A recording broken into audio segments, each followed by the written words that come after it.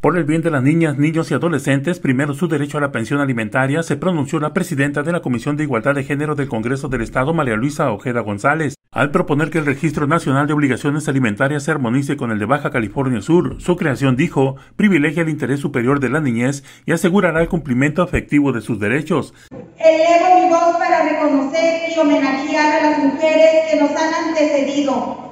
y que gracias a sus activismos, firmes posiciones y congruencia en sus roles sociales,